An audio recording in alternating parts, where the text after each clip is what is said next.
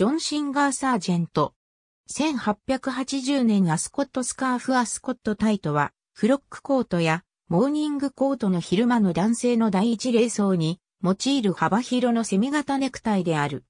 素材はスピットルフィールドなる厚手のモンオリギヌが用いられ、無地もある。自分で結ぶものが普通だが、結び切りのものもある。モードとしてのアスコットタイの登場は1876年になってから、パール状のネクタイピンを使用する。棒体に似せて結んだもの。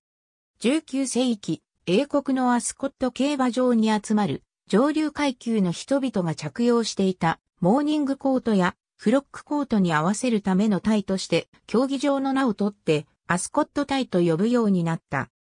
明治時代、伝来した当時日本人には馴染みがなく、結ぶのに時間がかかるためあらかじめ結び、首の後ろで止めるタイプのものが発明され、開いた時に、またという漢字に似ているためまたの字とも呼ばれた。